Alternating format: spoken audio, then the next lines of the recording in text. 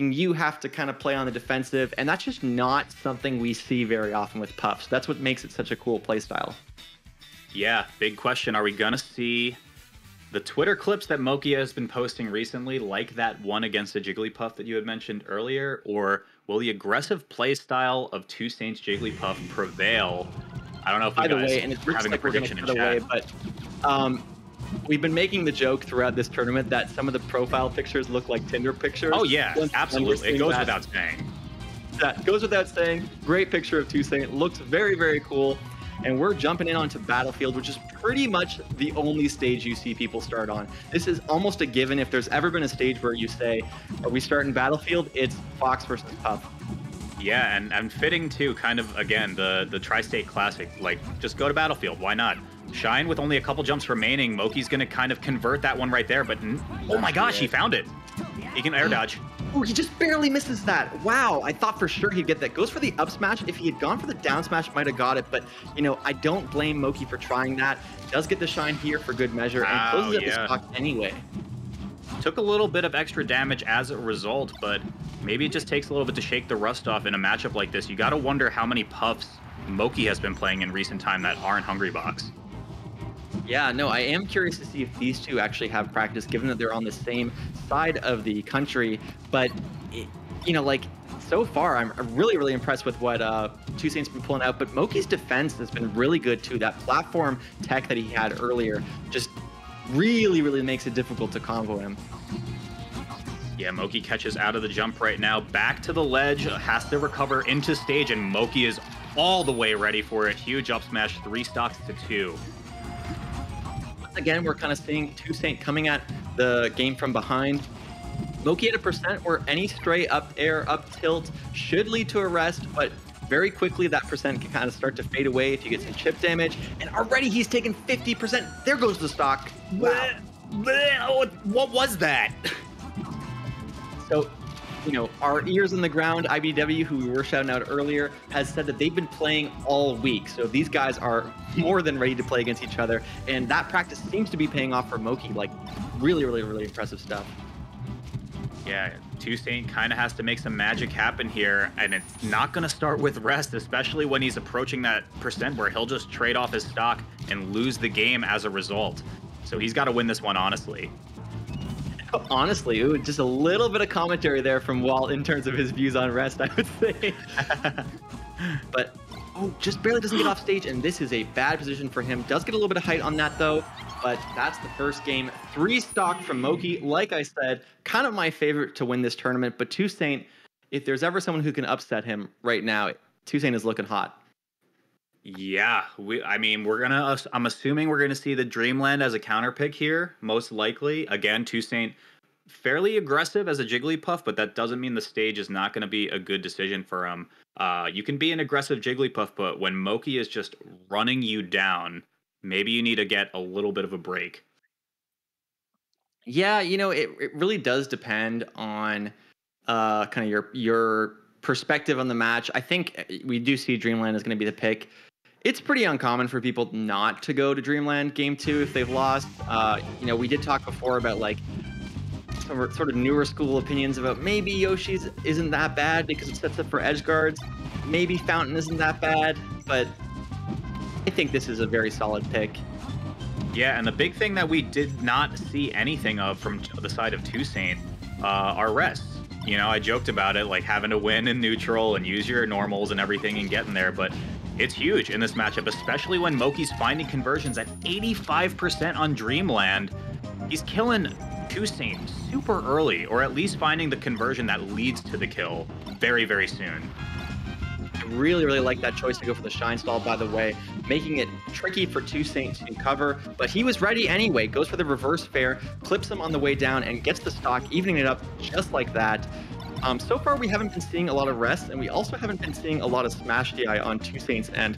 So if he is able to start mixing that up, now, of course, Moky, there goes the first rest. But he's going to First one, he will recover, yeah.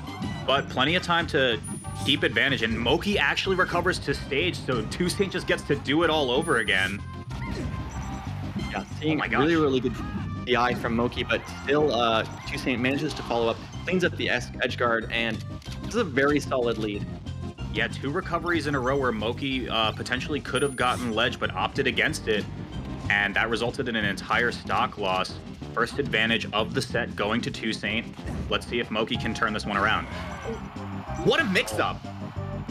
Yeah, beautiful extension there. When you grab at really, really low percents uh, as Puff, you cannot just rest there, especially on Dreamland, they're going to survive. So you go for that up air, but, you know, still surprised to see him convert that. And what can he do with this lead? Yeah, absolutely, Radar. That was what I consider as just the most one-to-one uh, mind game you can ask for. He went for the up throw straight into a rest on, on stock three, or stock two rather, and then just mixes it up with the up air into the rest to straight up kill him much earlier than he probably would have expected.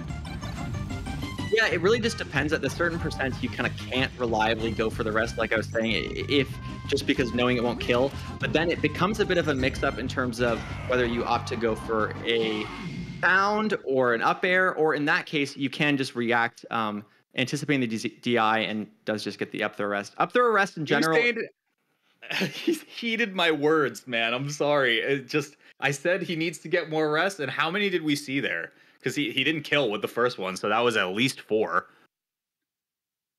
Yeah, I think I think at least three for sure. He got quite a few kills. Um, for people who are saying imperfect DI, um, one of the things they got to acknowledge is that when you get grabbed by Puff, you basically have to be DIing ahead of time uh, to be able to get the DI. And even then, it looked like uh, Saint was reading it because he was already drifting there.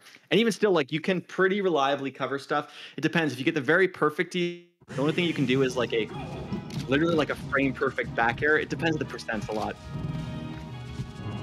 Sure, and we're gonna see a bit of those wacky early kills that we were getting out of Moky in the counterpick Pokemon Stadium, the selection, and he's racking on damage. He's close to kill percent already. exactly. Yeah, he's there. yeah, one of the crazy things about this matchup, and I think kind of one of the main arguments for why it would still be Puff favored in a lot of people's eyes. Uh, sorry, Marth. Uh, what the hell am I saying? Fox favored is because Fox's kind of stage advantages here are very, very strong. Pokemon Stadium, a very, very good stage for Fox. FD, very, very good stage for Fox. Yoshi's not a bad stage for Fox. Even Dreamland, not the worst stage. So it, I'm not surprised to see uh, Stadium in particular. It's probably the best, but it really depends if you think D is better. Yeah, 2saint starting off this game immediately on the back foot. Is he going to go down two in the first minute of the game? Geez, Moky is just on a rampage right now. 2saint needs to stem the bleeding somehow, reverses the back air. That's not quite enough, and he's actually close to dying, going down two. Moky with a clean lead. Um, uncharacteristic getting caught in shine there, but the reverse back air ends up saving him, like you mentioned. Oh, this is an easy 30 or 40% That's big damage. and again, kill percentage right here. Grab, maybe single pummel up throw. Yep. yep. It's the SDI. That's the first we've seen all set. Very, very important for keeping yourself alive. Um, now, Moky can play around that by mi mixing up the timing of his up airs. Oh my gosh, goes for his thing. That Probably not been. intentional. Looking for a pound, I would guess. And we're back to Could you imagine if that's the meta now? Just sing to cover a ledge? That'd be amazing. I really would have to imagine it because it doesn't seem very likely. Drill to forward smash.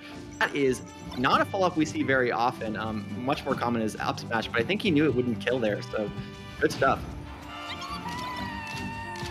Wow, yeah, huge advantage going over to Moky, a full two stock lead.